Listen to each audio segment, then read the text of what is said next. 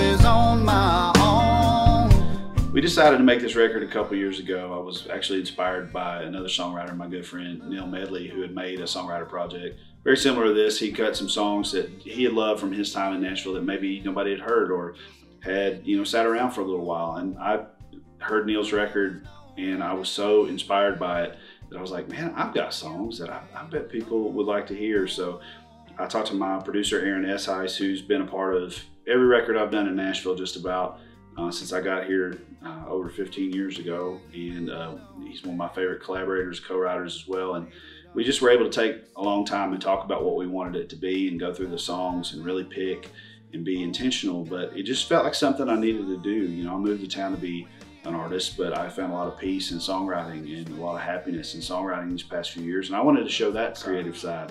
And it's been an incredible journey and it's been an incredible thing and taught me a lot. So I'm, uh, I'm very excited for people to hear these songs that I love so much and to put out my very first songwriter record.